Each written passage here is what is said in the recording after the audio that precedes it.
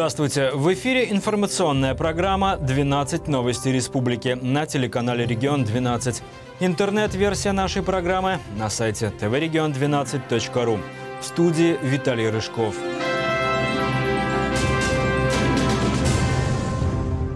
Существенное потепление и дожди с мокрым снегом ожидаются в Мариэл в ближайшие дни. Так что зима пока не спешит вступать в свои права. Завтра днем будет преимущественно без осадков, а ближе к вечеру ожидается небольшой снегопад, который продолжится и в воскресенье. Все это время температура воздуха будет расти и составит в республике от 0 до 5 градусов тепла. В понедельник еще один атлантический циклон принесет осадки уже преимущественно в виде дождя. Заметно усилится южный ветер. По предварительным данным, во вторник и среду пройдут довольно сильные дожди. И лишь только к концу следующей недели ожидается, что температура уйдет в постоянный минус. Юные пациенты детской гастроэнтерологии будут лечиться в новом стационаре, отведенном специально для детей с заболеваниями желудочно-кишечного тракта. Профильный дневной стационар переведен из детской городской больницы на улице Волкова в здание поликлиники номер 3 на. В республиканском Минздраве объясняют, необходимость переезда в новое помещение назрела уже давно. Одна из основных причин – стационар соседствовал с двумя отделениями, в которых маленьким пациентам требуется особый покой. Это отделение патологии новорожденных и детская онкология. Впрочем, были у переезда и другие мотивы. Это патология, гастроэнтерологическая патология, это те заболевания, которые не ходят одни, да, то есть они всегда с чем-то связаны.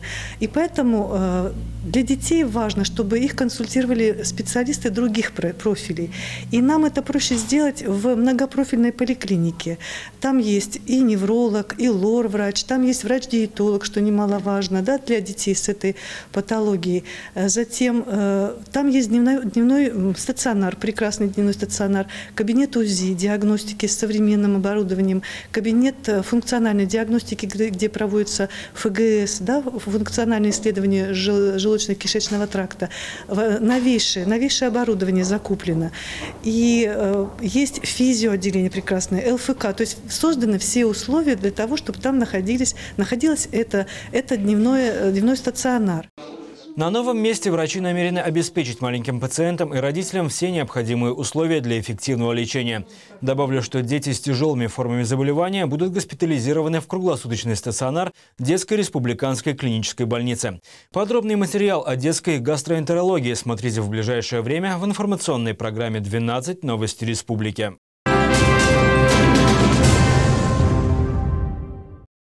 Форма одежды парадная, но рабочий день никто не отменял. Сегодня исполнилось 100 лет со дня создания органов внутренних дел. 10 ноября 1917 года декретом советской власти в России была создана рабоче-крестьянская милиция.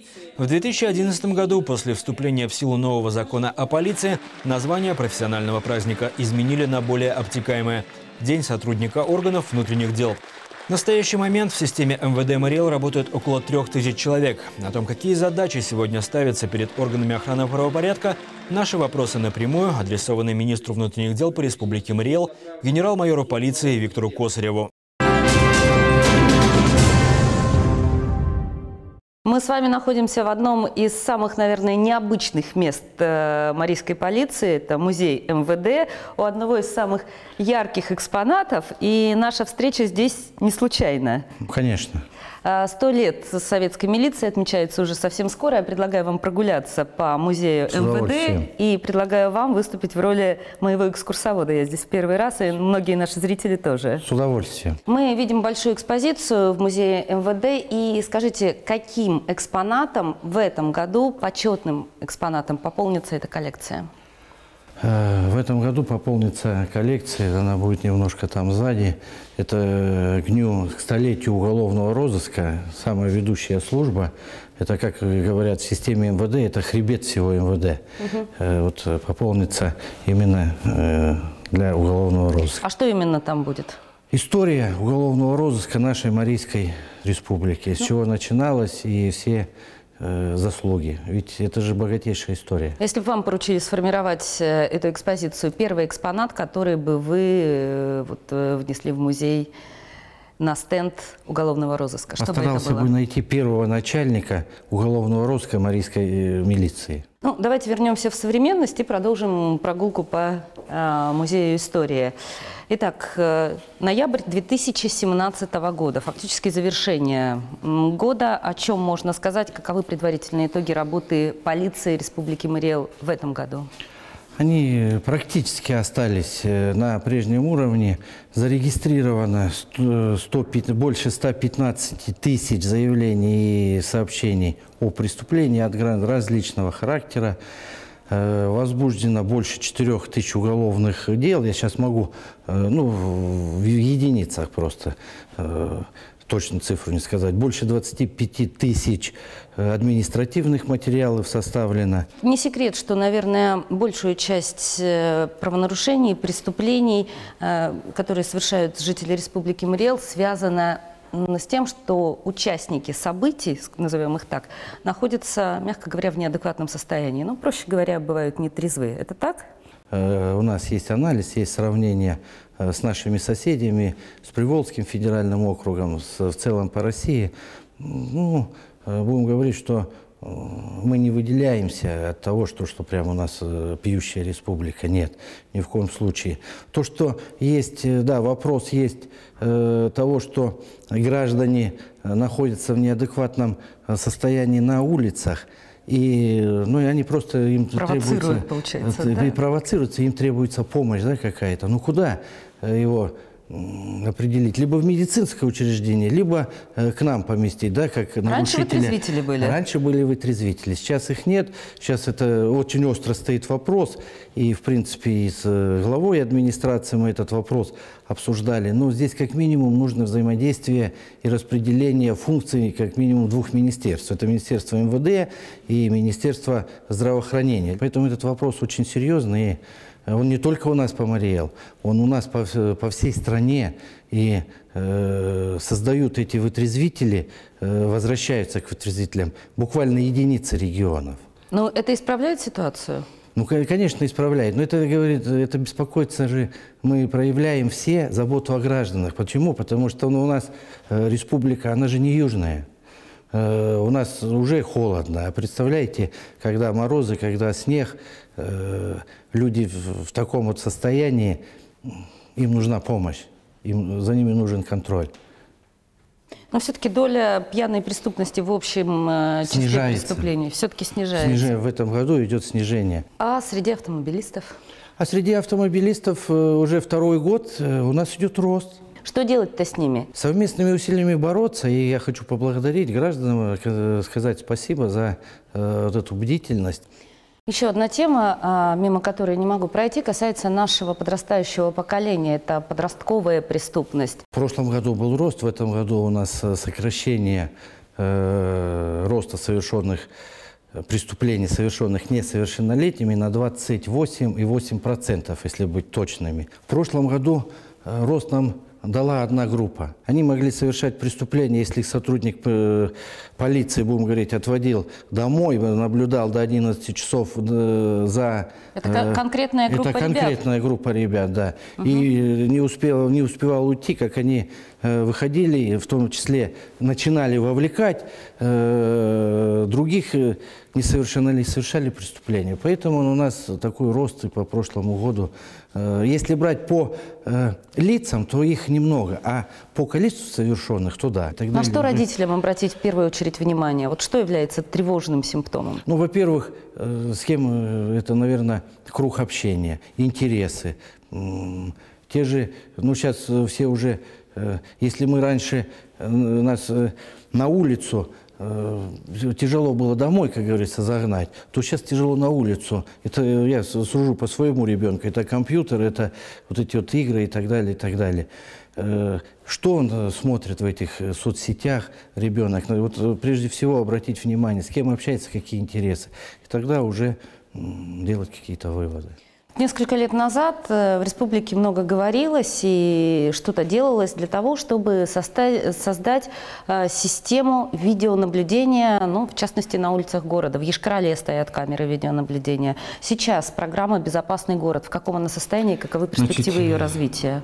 В феврале, если мне память не изменяет, 22 февраля 2017 года э, принята программа, государственная программа Республики э, Мариэл э, по э, в целом, э, в целом по э, профилактике правонарушений, где в частности и э, входят э, комплексные программы по э, камерам. Мы в Волске вот э, поставили буквально весной целый комплекс. Ну и как бы нам того не хотелось, э, в преддверии чемпионата мира у нас в Казани, рядом в Нижнем Новгороде, ведь будет масса э, приток э, болельщиков, туристов, и они пройдут через нашу республику. Нам никуда от этого не уйти, э, нам придется это делать, и э, здесь есть взаимопонимание и с главой республики, и с правительством республики. Но все, к сожалению, упирается э, в финансирование. На сегодняшний момент у нас э, 251 камера, это только по Йошкар-Оле. Э, С помощью камер э, 90, ну больше 90 преступлений раскрыто, не говоря уже о выявленных административных правонарушениях. Уровень доверия к полиции. Вот помните известную строчку «Моя полиция меня бережет». Э, На ваш взгляд, э, каждый ли житель республики может так сказать? Вы э, первый вопрос мне задали, вот э, такие цифры, да, что больше э, десятков тысяч э, заявлений и сообщений.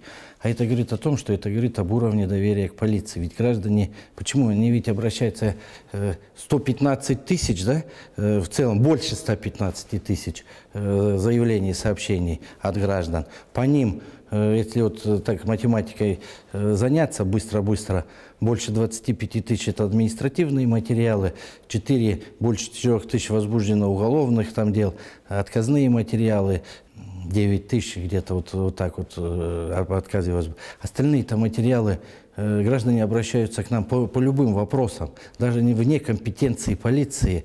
Мы обязаны это, и э, я требую это, и министр наш требует э, того, что гражданам рассказать, э, и направить в тот орган, который компетентен ответить, э, либо решить данный вопрос. Поэтому вот эта цифра, когда вы ужаснулись, я сказал, это нормально, это говорит о доверии к полиции, что чем больше будут граждане обращаться, тем, значит, больше они нам верят. Профессиональный праздник, День полиции, дата все-таки праздничная или рабочая? Она и праздничная, и в то же время, э, будем так говорить, э, рабочая, потому что э, наряды по всем направлениям и по всем службам будут нести э, службу, ну, а даже можем говорить в усиленном варианте. Что своим коллегам в этот день желаете? В первую очередь я э, поблагодарил бы, поздравил ветеранов с днем столетия образования советской милиции. Ну а в целом пожелал бы всем, всем сотрудников это здоровья, оперативного везения, э, очень крепкого тыла, тыла, потому что, чтобы все знали, что дома ждут, что железный тыл, э, земных благ и удачи. Вот э, самой простой человеческой удачи. Спасибо. Спасибо.